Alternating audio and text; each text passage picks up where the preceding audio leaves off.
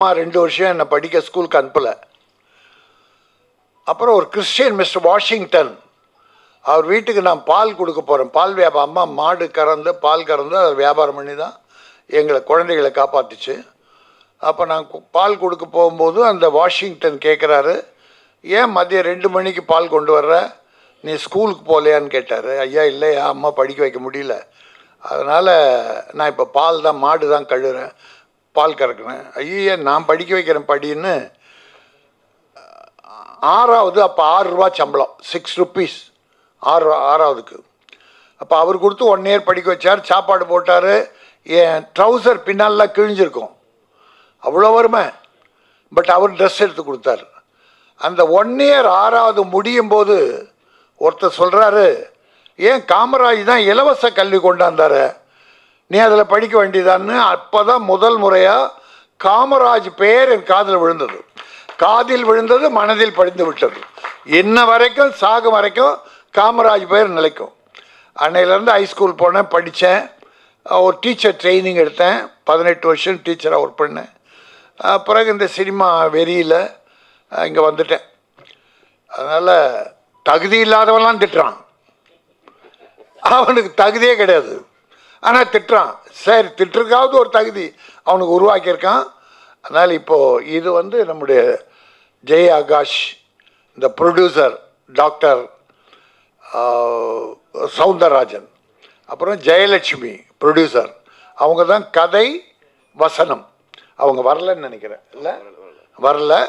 பிறந்தாலும் படம் எடுத்து அவர் அழிக்கும் டாக்டர் சவுந்தரராஜன் அழிக்கும்னு போட்டு நம்ம ஜெய ஆகாஷ் மேலே நம்பிக்கை வைத்து கதாநாயகனாகவும் கொடுத்து டைரக்ஷன் பண்ண வச்சு திரைக்கதை ட்ரீட்மெண்ட் பண்ண வச்சு அவ்வளோ நம்பிக்கையோடு நம்ம ஜெய வரவேற்று கொடுத்துருக்காங்க. அவருக்கு நம்முடைய தேவா தேன் இசை தென்றல் தேவா.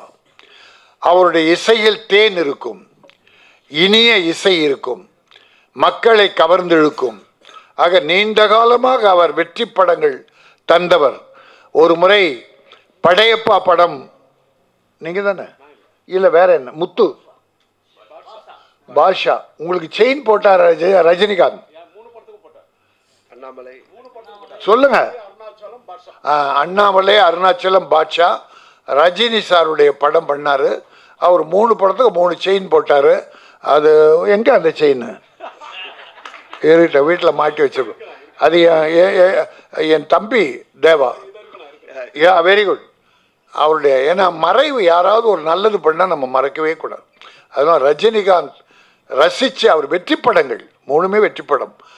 அப்படிப்பட்டவர் இப்போ போஸ்டர்லாம் பார்த்தா தேனிசை தென்றல் தேவா போட்டிருக்கு.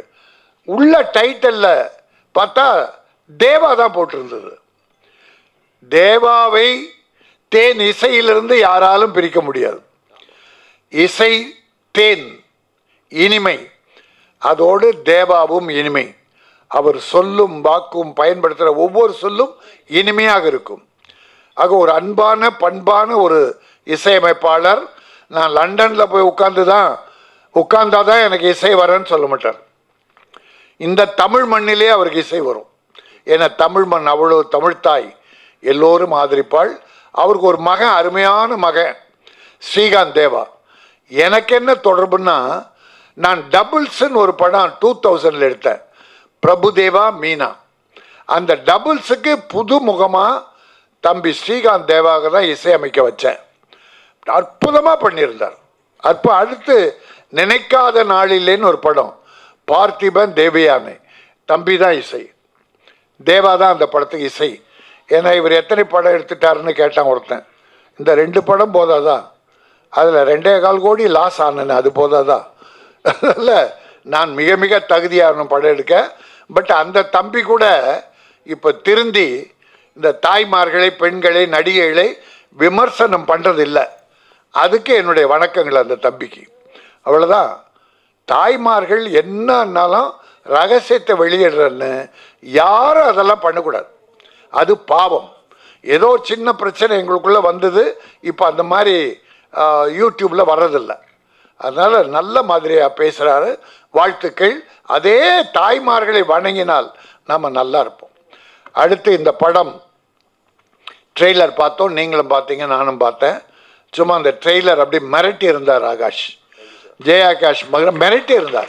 ஒரு நல்ல படம் எப்படி அமையணுமோ அதுக்குரிய அத்தனை அம்சமும் அந்த ட்ரெய்லரில் இருந்தது. சாங்.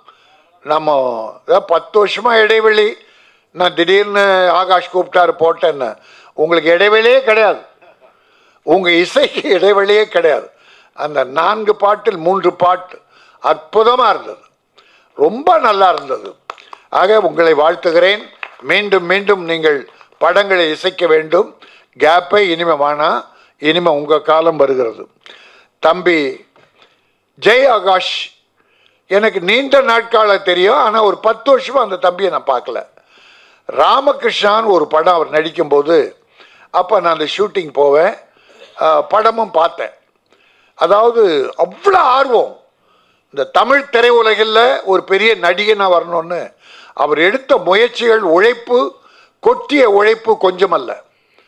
சின்சியரா ஆனால் அவருக்கு நேரம் இன்னும் வரலன்னு தான் அர்த்தம். அவர் திறமைக்கும் அந்த ஆர்வத்துக்கும் அவர் இந்த தமிழ் சினிமாவில் பட்ட கற்ற கஷ்டத்திற்கும் எடுத்த முயற்சிக்கும் போட்ட பணத்திற்கும் நிறைய பணம் இதில் படம் படம் எடுக்க போட்டிருக்கார். ப்ரொடியூஸ் பண்ணியிருக்கார். அதுக்கு ஒரு வெற்றி இன்னும் அவர் கிடைக்கல. இந்த படம் அதெல்லாம் மொத்தமாக சேர்த்து வெற்றியை தரும் என்கிற நம்புகிறேன். ஆனால் தம்பி நீ இப்போ தமிழில் படம் எடுக்கிறத விட மலையாளத்துக்கு போகலாம் ஏன்னா உங்ககிட்ட மம்முட்டியே இருக்காரு. மோகன்லால் இருக்கார். என்னது? இல்லை? நான் பார்க்கும்போது அங்கத்தை சூப்பர் ஸ்டார் ரெண்டு பேருமே நான் பார்த்தேன். தம்பிக்கிட்ட ஃபைட் அவ்வளோ வேகமாக அது மட்டுமல்ல காமெடியன் ஹீரோ காமெடியெல்லாம் இப்போ ரொம்ப பிஸி ஆகிட்டாங்க அப்போ ஒரு நாளைக்கு அஞ்சு லட்சம் தான் வாங்குறாங்க. ஏன்னா அது பரவாயில்ல. குறைஞ்சது தான் அட்ஜஸ்ட் பண்ணிட்டு போகிறாங்க சிலர். ஆனால் தம்பி தன்கிட்ட அசிஸ்டண்ட்டாக வேலை செய்கிற அந்த தம்பிகளை அப்புறம் விஜய் டிவியில் இருக்க ஒரு தம்பியா? ஆ ஆ பிரியன். ஸ்ரீயன். சிறியனா சிறியனா? உங்களை பார்த்தா சிறியனா தெரியலையே. Okay okay. என் பல்லு உடஞ்சிரும் போட்டு வெரி குட் நல்ல நல்ல தம்பிகள் எப்போ விஜய் டிவில இருந்தோ சன் டிவில இருந்தோ காமெடி பண்ணுறவங்களாம் இப்போ நிறைய வந்துட்டுருக்காங்க. சிவ சிவகார்த்திகேயன் விஜய் சேதுபதி போன்ற நிறைய நடிகர்களை நம் தயாரிப்பாளர் கண்டுபிடித்து தமிழ் சினிமாவில் அறிமுகப்படுத்தி வெற்றி பெற வைக்கிறார்கள். ஆனால் அப்படி வெற்றி பெற்றவர்கள் இந்த முதல்ல நம்ம ரிஸ்க் எடுத்து படம் போட்டு பணம் போட்டு இது வருமா வராதா? இந்த புதிய தம்பியை ஹீரோவை போட்டால் இந்த பணம் திரும்பி எனக்கு வருமா வராதா? என்ற நம்பிக்கையே இல்லாத போது உன் மீது நம்பிக்கையாக வைத்து படம் எடுத்து அது சக்ஸஸ் ஆகி இன்னைக்கு பெரிய ஹீரோக்களாக இருக்கீங்களே அன்னைக்கு உனக்கு படம் எடுத்து அந்த ப்ரொடியூசர் நினச்சி பார்க்குறியா? நல்லா இருக்காங்களா? நல்லா இல்லைன்னா நம்ம முதல் முதல்ல படம் போட்டு எடுத்தார் அவருக்கு ஒரு படம் கொடுப்போம் என்று நினைக்கிறீர்களா? நினைக்கணும். நினைச்சா நல்லா இருப்பீங்க. அவ்வளோதான் என்னுடைய வார்த்தை. மற்ற வகையில் நம்முடைய ஆகாஷுடைய ஒவ்வொரு ஷார்ட்ஸும் பியூட்டிஃபுல்லாக இருந்தது. ஃபைட்டு நல்லா இருந்தது. சாங் நல்லா இருந்தது. அதுக்கு ஒரு பாட்டுக்கு நடனம் ஆடிய இந்த பாப்பா ரொம்ப நல்லா இருந்தது. அவங்க நான் முதல்ல கேரளா நினச்சேன். நார்த் இந்தியன் பட் அமெரிக்கா யூஎஸில் இங்கே செட்டில் ஆகிருக்காங்க இருந்தால் கூட தமிழ் பற்றோடு இங்கே வந்து படம் பண்ணாங்க. பாருங்கள் ஆடியோ ஃபங்க்ஷன் ப்ரொமோஷனுக்கு வந்திருக்கிறாங்க. அடுத்து இந்த படம் ஜெயிச்சா வருவாங்களான்னு எனக்கு தெரியாது. ஆனால் வரணும். You must come for audio function promotion பாருங்கள் ப்ரொமோஷன்றது எங்கள் ப்ரொடியூசருக்கு இல்லை. இசையமைப்பாளர் தான் ஹீரோ இன்னைக்கு. இசை வெளியீட்டு விழா. இசையமைப்பால் தான் ஹீரோ ஆனால் இந்த கேமரா யூடியூப் யாராவது என் ப்ரொடியூசரை ஃபோட்டோ எடுத்தாங்களா? இசையமைப்பாளர் தான் அந்த பாப்பா இருந்தால் அங்கே வந்து எடுத்தாங்க. புரட்டி போட்டு திருப்பி திருப்பி ஏதோ ஒருத்தன் நம்ம ஆள் ஒருத்தன் எங்கப்பா? ஆ சத்யாவா சத்யா அதெல்லாம் எடுக்க மாட்டான். எடுத்தாலும் படம் கொடுக்க மாட்டான். சும்மா ஒரு காமெடியாக பசி நேரம். அப்படியே கொஞ்சம் சிரிக்கட்டுமேன்றதுக்காக சொன்னேன். நல்ல நல்ல இதை சிரிக்கிற குலுங்க குலுங்க சிரிக்கிறியா? டேய் நீ வா இந்த பாரு இப்போவும் அந்த பொண்ணு தான் எடுத்துக்கிட்டு இருக்கான் இந்த பாருங்க இப்போவும் அந்த பொண்ணு தான் ரைட் வாழ்க நல்லா இருப்படா ஜாக்க வர்த்தங்கத்துக்கு அப்புறம் நீ தான்டா மகிழ்ச்சி ரொம்ப மகிழ்ச்சி. ஒரு போலீஸ் அதிகாரி அவர்கள் சில செய்தி சொன்னார். நான் இந்த கேஸை நான் தான் பிடிச்சேன். ஒரு அருமையான கேஸ். மாத்திரைகள் மருந்து கடையில் எக்ஸ்பைரி இந்த மாத்திரை மூணு வருஷம் தான் டேட் போட்டிருப்பான். இன்னைக்கு தயார் பண்ணால் மூணு வருஷம் தான் அதுக்கு டேட் அதுக்குள்ளே மருந்து வாங்கிடணும் சாப்பிட்டுடணும். ஆனால் சில கடைக்காரர்கள் அதுவும் நம்ம நாட்டில் வடநாட்டுக்காரர்கள் தான் அதில் கிங்காக இருக்காங்க அந்த மோசடியில். எக்ஸ்பைரி மருந்தெல்லாம் விற்று மக்களுக்கு நோயை உண்டாக்கி அழிவை தந்தவர்களை நான் தான் பிடிச்சேன். அந்த கேஸை நான் தான் போட்டேன்னாரு. டாக்டர் இவர் ராஜேந்திரன். ரிட்டையர்ட் ஆயிட்டேனாரு. எப்படி ரிட்டையர்ட் ஆனீங்க? நீங்களா? விஆர்எஸ்ஸா ஏன்னா சின்ன பையன் மாதிரியே இருக்கீங்க என்ன மாதிரியே? அது ஆகக்கூடாது. நீங்கள்லாம் நேர்மையானவர்கள்லாம் ரிட்டையர்ட் ஆகக்கூடாது. ஆனால் பணியாற்ற முடியாதுங்க நேர்மையானவனுங்க. நேர்மையானவன் போலீஸும் சரி பணியாற்ற முடியாது. இருக்கிற ஊழல்வாதி இருக்கான்ல அரசியல்வாதியிலேருந்து ஊழல் அதிகாரி. இந்த அரசியல்வாதிக்கு கிச்சமுச்சாம் பண்ணுறான் பாருங்க. அவன்லாம் இந்த மாதிரி நேர்மையாளர் வாழ விட மாட்டான். என்பதை சொல்லி தலைப்பு அமைச்சர் ரிட்டர்ன்ஸ். அது என்ன ஒரு இங்கிலீஷ் பேர் இடையில? அமைச்சர் தமிழ். தம்பி ஏன்பா? பரவாயில்ல ரைட் வச்சுட்டு. மறுபடியும் வர்றாரு. அது தமிழ் இல்லையா? இல்ல. மறுபடியும் வருகைனா நல்லா இருக்கு. நாய் சேகர் ரிட்டர்ன்ஸ் மாதிரி. நாய் சேகர். அதான் நாய் சேகர் பேய் சேகர். ஆக தமிழ். வைங்க தமிழ் பேர் வைங்க. தேவையான வச்சுக்கலாம். அதுக்காக இல்லை. இது லாஸ்ட் சாய்ஸ் வேற இல்லை அது பொருத்தமாக இல்லைன்னும் போது நல்லா இருக்கு. ஆனால் அமைச்சர் எங்கேருந்து ரிட்டர்ன்ஸ் ஒன்று கேட்குறேன் அமைச்சர் அமெரிக்காவில் இருந்து ரிட்டர்ன்ஸா இல்லை தீகார் ஜெயிலில் இருந்து ரிட்டர்ன்ஸா ஏன்னா இப்போ ஒன்றுமே புரியல. அமைச்சராக இருந்தவங்க நிறைய பேர் Tihar jail central jail Karnataka jail அது நிறைய ஆயிடுச்சு. இப்போ பார்த்தீங்கன்னா போன பீரியடில் நான் கட்சியெல்லாம் பேசலைங்க. தர்மம் பேசுகிறேன் போன பீரியடில் ஆட்சியில் இருந்தப்போ ஒரு வருமான வரித்துறையா புலனாய்வுத்துறையா தெரில அமலாக்க பிரிவு. நம்முடைய தலைமைச் செயலகம் இதுவரைக்கும் வரலாறே கிடையாதுங்க. தலைமைச் செயலகத்தில் ஆட்சியில் இருந்தவர்களை சோதனை போட்டது எந்த வரலாறு கிடையாதுங்க. நம்ம தமிழக நம்ம குமாரசாமி ராஜா முதல்வர் இருந்திருக்கா ஓமந்தூரார் நேர்மை சின்னங்கள். ஓமந்தூரார்ல நேர்மை சின்னங்கள். பிறகு ராஜாஜி இருந்தார் காமராஜ் இருந்தார். அடுத்து அண்ணா இருந்தார் அப்படின்னா எந்த காலத்திலையும் நம்ம தே செக்ரட்டரியேட் தலைமைச் செயலகத்தில் ஒரு வருமானத்துறையோ அமலாக்க பிரிவோ சோதனை நடத்தியா வரலாறு கிடையாது. ஆனால் அது நடந்தது. சரி நடந்தது. அப்புறம் மினிஸ்டர்ஸ் வீட்டுக்கெல்லாம் போனாங்க. பிடிச்சாங்க. அன்னைக்கு சொன்னாங்க இவ்வளோ படிச்சது அவ்வளோ படிச்சதுன்னாங்க. ரைட் என்ன ஆக்ஷன் எடுத்தீங்க? என்ன ஆக்ஷன் ஏன் அப்படி போனேன் மிரட்டுறதுக்கா? அடுத்த கட்சியில் கூட்டணி வச்சுக்கணுன்றதுக்கா? அதுக்கு இதான வழி? மிரட்டி மிரட்டி சோதனை என்ற பேரில் அவங்கள அவமானம் ஆனால் இருந்ததானா இருந்தது. ஒவ்வொரு மந்திரிகிட்டே இருந்தது. கொடான கோடி இருந்தது. இல்லை இல்லை ஏன் அதை வெளிப்படுத்தலை? ஏன் அவங்கள இன்ன வரைக்கும் தண்டிக்கலை? எட்டு ஒம்பது வருஷம் ஆகுதுன்னா மறுபடியும் அவங்களாம் மந்திரி ஆகுறாங்களே? அப்புறம் என்ன சோதனை என்ன நாடு? ஆக நாடு தவறான பாதைக்கு போய் கொண்டிருந்தது. இந்த அமைச்சர் வருகை எனக்கு நல் வருகையாக இருக்க வேண்டும். தம்பி தான் அமைச்சர் போருக்கு அவன் தப்பு பண்ண மாட்டான். ஆகாஷ் தப்பு பண்ண மாட்டான். அதான் நல்ல வருகையாக தான் இந்த படத்தில் இருக்கும்.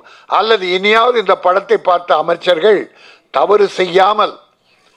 நம் காமராஜ் ரஷ்யா போனாருங்க. பெருந்தலைவர் காமராஜ் ரஷ்யா போனார். அதே கதர் சத்தை அதே கதர் வேட்டி. தமிழன் என்ற அந்த அடையாளத்தோடு ரஷ்யா போய் வெற்றிகரமாக திரும்பி வந்தார். மகாத்மா காந்தி லண்டன் அந்த இளவரசி மகாராணி யார் ஆ? L- Elizabeth? London England Elizabeth. Elizabeth. அந்த ராணியை ஒரு மீட்டிங் போறாரு மகாத்மா காந்தி. அந்த வேட்டி சட்டை இல்லாம அந்த அரை தொண்டோட போறாரு.